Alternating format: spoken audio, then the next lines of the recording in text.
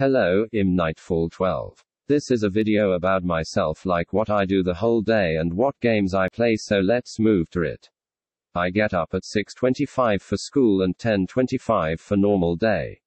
Then I go to brush my teeth. And then I wake my sis up. And then I go eat breakfast. Then I work out and then I eat lunch later.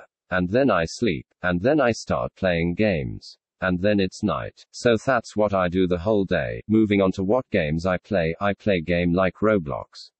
War Thunder, World of Tanks. And yeah, I post every Saturday. Or Sunday. I don't stream but I have a Discord community. Twitch, Reddit, Spotify, and more so yay. I'm gonna wrap it up for today. I forgot to say this I live in India. Peace.